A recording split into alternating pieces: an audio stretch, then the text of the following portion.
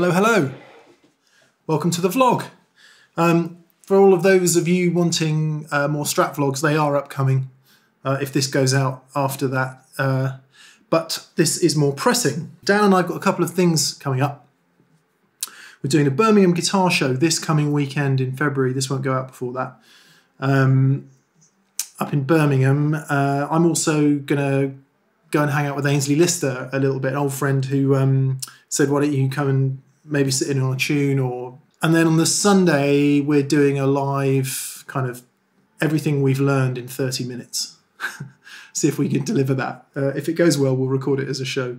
Of late, I've gone from my big Schmidt-Array SA525 with um, Gig Rig G2 on it to this little tiny SA250. Which is really great because it's so easy to travel with. I had to go to Germany a couple times and some other things where the big board is quite hard to take unless you book extra luggage and all of that. Um, so this has been brilliant. However, it is really small and there's a couple of things that aren't on it that I really want on it. Hallelujah, Martin at Schmidt-Array has just brought out a 350. 250 being 25 centimeters, uh, 350 being 35. And I'm kind of hoping that I can get all the stuff on this little board, plus a couple of other things that I want to add. Plus, there's a couple of problems that have um, that have come to pass. Uh, no G2 in here, sadly, because it won't fit. Um, so I'm asking for trouble there. But anyway, I'm going to try and base it around a QMX4 so I can have the problematic pedals on loop switches so they stay quiet and out of the way. The two problems that I mentioned are this. Regular viewers will know that I've totally fallen in love with this again and even my esoteric, expensive boutique fuzzes don't do what this does in terms of the cleanup off the volume pot. So I'm not going to put that on the board. I'm going to carry it separately. It needs a battery anyway, so it doesn't matter if it just sits off the board first in line. So that's that. The other problem is more thorny.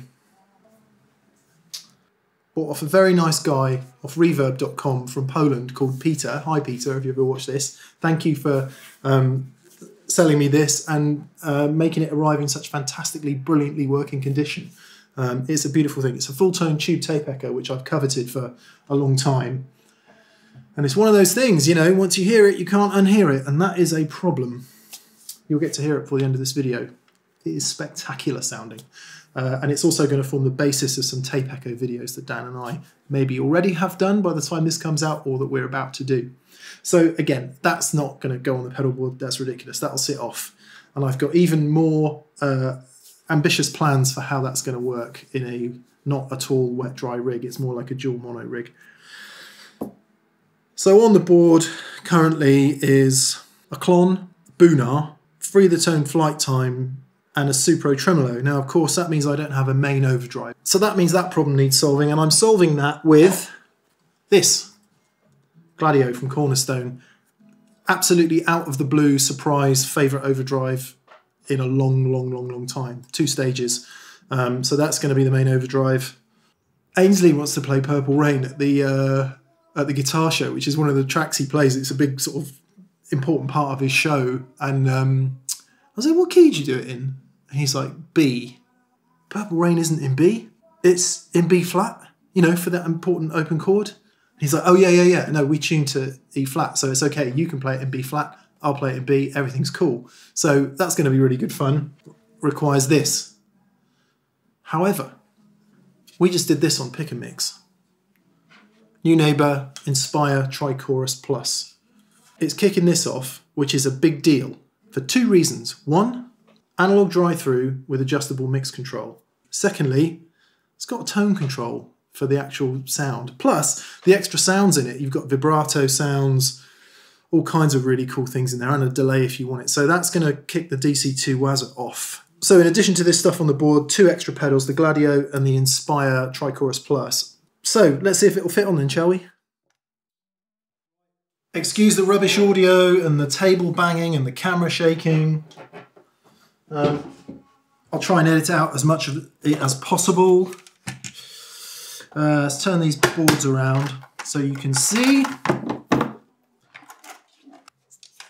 So all this stuff's got to go on there, plus this and this, and the quartermaster. It's going to be a squeeze. It's going to be a real squeeze. Martin uh, at Schmidt Array makes this really cool riser for the QMX, and he is going to run two QMX4s because G2 is too complex for him.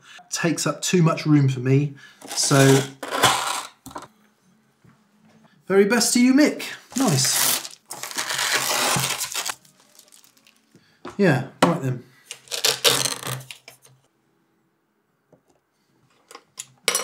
It's insane. There's plenty of Klon clones that sound as good as this. Well, sound 98% as good as this. But I still love it, and I really do love it, and it's absolutely crazy to own it and not use it, so um, it stays. I love you, Klon. Look at that. What a mess. So it is a challenge, you know, when you, um, Dan's power supply system is the very best available, the quietest, the most reliable, the most flexible, but it does involve quite a lot of boxes. So when you're looking at a tiny board, that's an issue.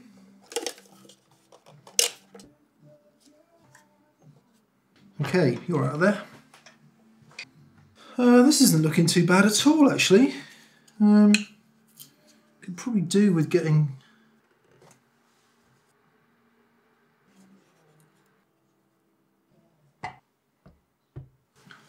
Boom. Pretty happy with that. Um, as you can see, I can get to everything I need to get to. So I need to get to the tap on the free the tone. Hopefully I can avoid the quartermaster. That switch is raised significantly there, so I think I can do that. I need to get to the Boonar. I need to get to these two, obviously, to turn the different sides off. The Klon always stays on, so I don't actually need to get to that. Oh, yes, I do. I do need to get to that because I've got four loops, right? So I think what I'll do is I'll leave all the gain stages out of the loop. So the signal will come into the Gladio, into the Klon, into the quartermaster. The two delays, the Neunaber and the Supro will have each will have their own loops. I think that'll work pretty good actually. And I've got space at the back there for all my power gubbins. What am I missing? I've obviously missed something. There's not a tuner on there for sure. Let's get wiring. Addendum, where is my brain? Where is my brain? Octave. Oh, that was close. Uh, okay, gonna have to think about this, aren't we? Can't live without that.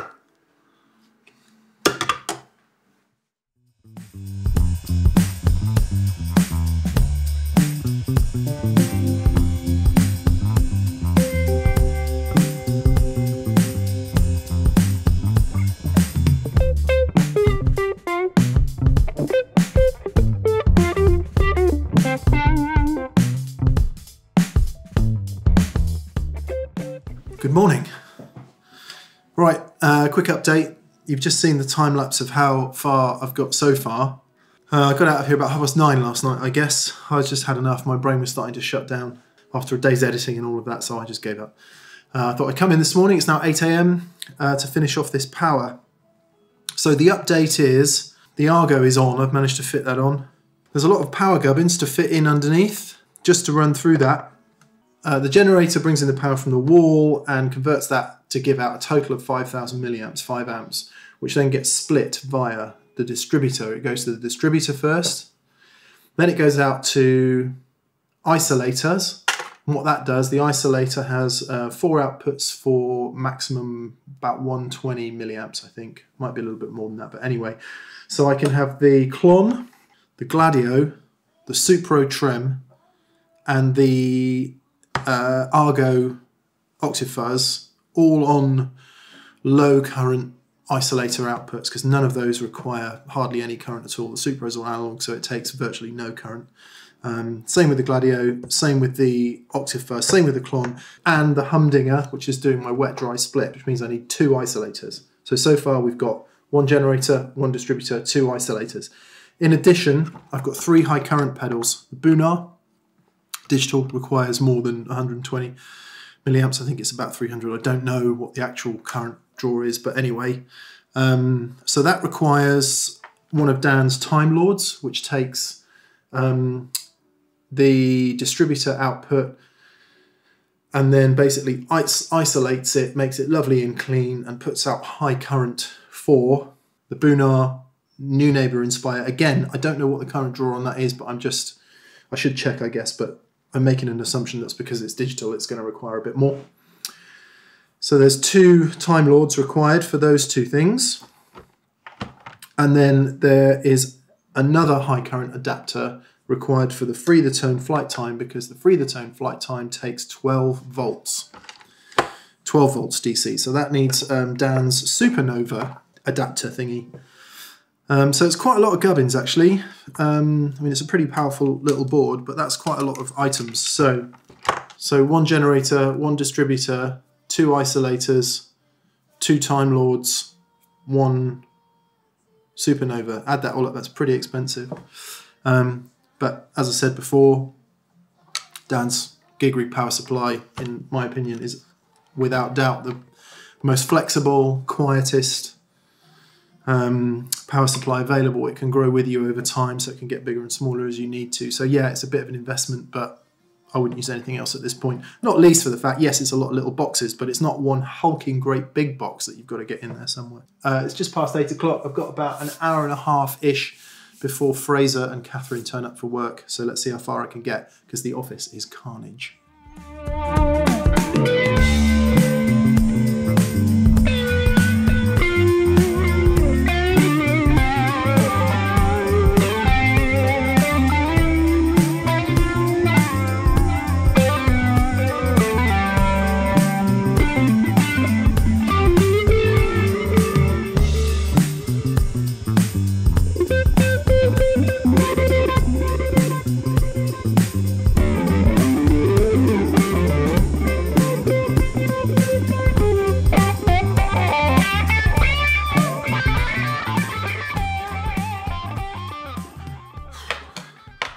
A colossal ball ache that was.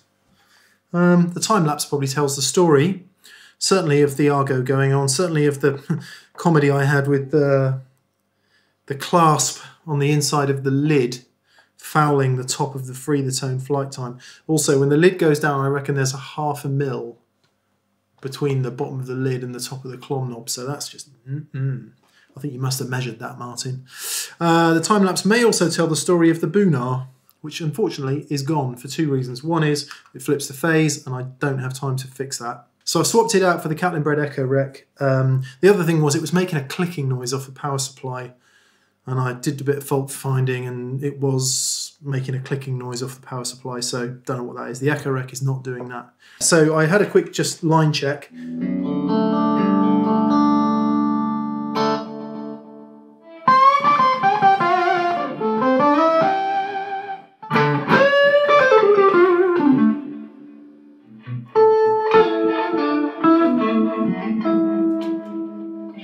So much to my complete surprise, it does all work. Um, I'm going to go in there now and plug it all in.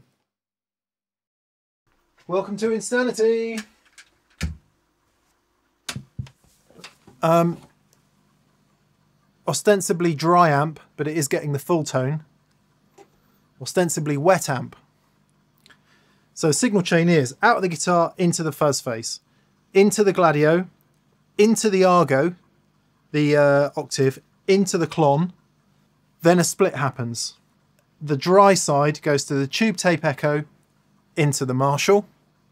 The other side of that split goes through all the other pedals on the board, the chorus, the boonar, the free the tone delay, and the um, Supro tremolo. Sorry, I just said boonar, I meant Echorec because I've swapped it out. That all hits the two rock, which means both amps are getting all the gain stages.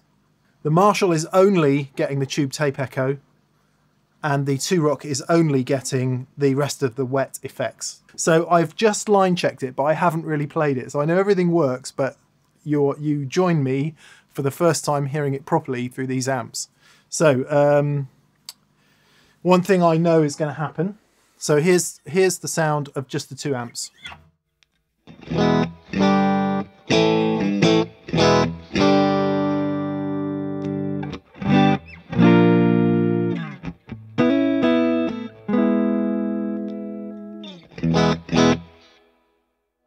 We turn the echo repeats up, I'm going to see if it flips the phase, and I know it does. So uh, when I turn the echo on and off, bearing in mind the echo repeats are down, but this would put the echo circuit into play.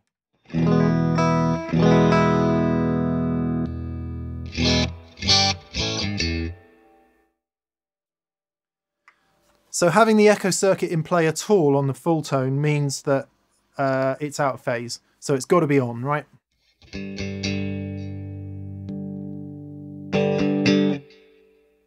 But I'm not too worried about that because it means I can just have the preamp on all the time and I'll just turn the echo repeats up. Then this happens.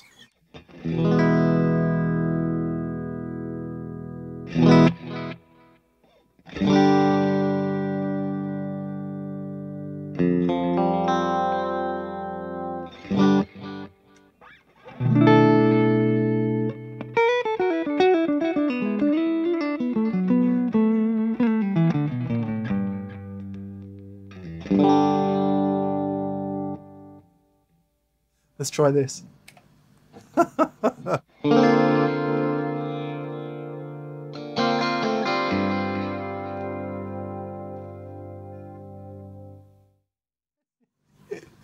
okay, I'm just going to flick through a few things and just see what see what happens.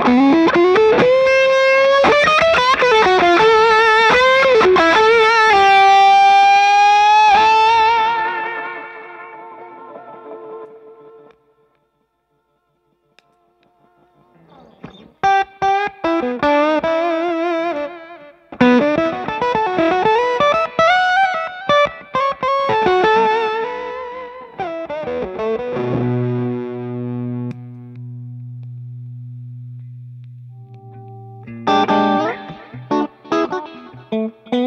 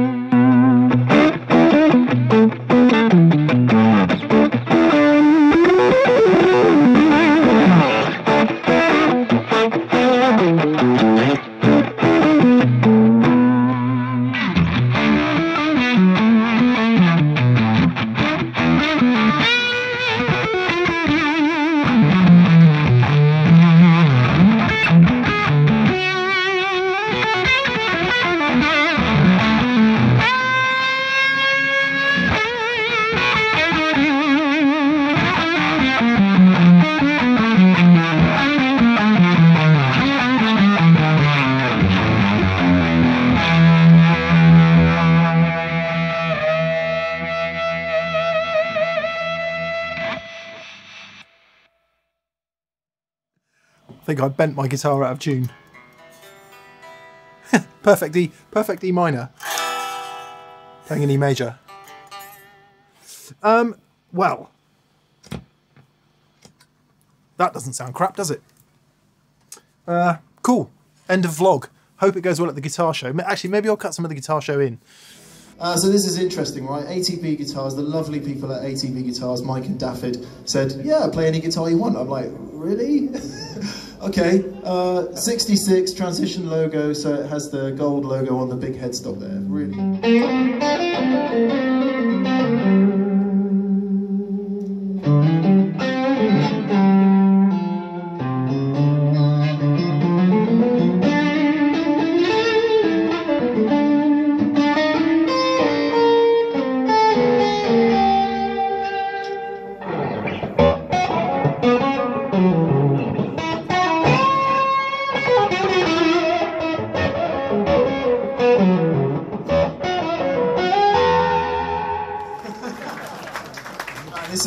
Such a cool guitar. So to demonstrate the point, the tape delay was on all the way through that. It wasn't tapped at any uh, tempo. It was just on. It was underneath it. Was right.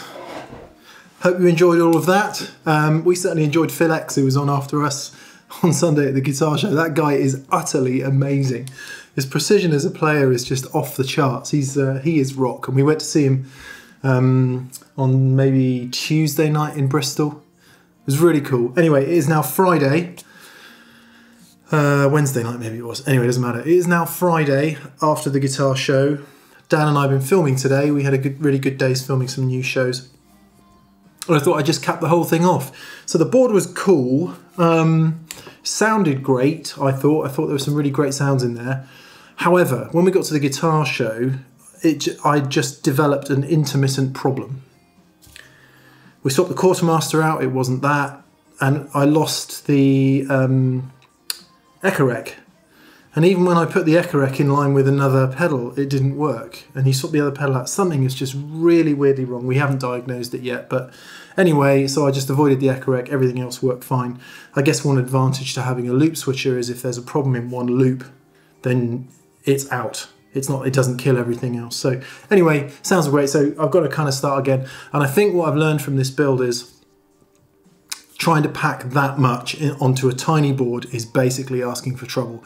Because the minute you get a problem uh, there's just no room to fix anything. So um, yeah so I think I probably wouldn't pack as much on next time. But it did sound good and I was really pleased with it. The Fulltone tube tape echo was just amazing. I it, we've done we filmed another show with that and we're going to do some more on tape echoes but um blimey that's a, an addictive sound what a crazy addictive sound tape echo is so yeah um I just want to say thank you to everyone that came up and said hello at the guitar show. It was a real pleasure to meet like so many people. Everyone just so super friendly, saying how much they enjoy TPS and uh, and all the rest of it. Just met some really really great people. People who comment regularly in the uh, in the comment section of the videos old friends I haven't seen for 25 years, or at least I've known for 25 years and probably haven't seen for 10. Um, just a really nice atmosphere, the UK Guitar Show, so look out for that next year. Also, just to end on a slightly serious note, um, I was also very moved by how many people came up to me and wanted to talk about mental health, or at least let me know that some of the things that we discussed in these vlogs have been of use to them. And some people shared some really personal stories with me about either their own experience with their mental health or someone in their family. Um, so thank you for that. And if talking about it in this way helps just one person, then it is totally worth it. And I'm really pleased that uh, we are all talking about it a bit more. As it goes, um, I had a bit of a kind of an off week this week. But um, the work I've done over the last year or so enabled me to stay the right side and uh, just focus on being present and kind of conscious and all of those things.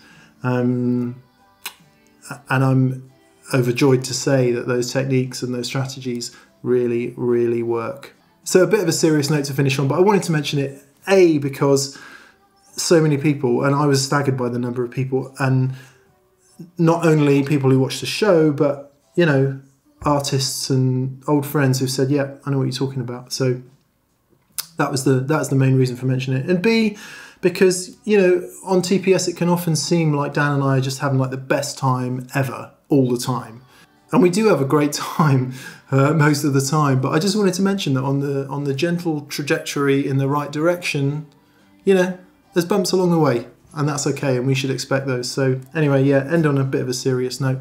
I'll be back. Um, I've got some really exciting news. Uh, something's happening in June, which we're about to announce, which I am unbelievably overjoyed to be doing. Uh, so there'll be another board build for that, and in the meantime, more Strat vlogs. So thank you for watching. Um, hope you enjoy it as always. Please visit that Pedal Show store. Please check us out at thatpedalshow.com. Thank you to patrons. All the usual stuff uh, we couldn't do it without you. So um, yeah, until the next time, I bid you adieu.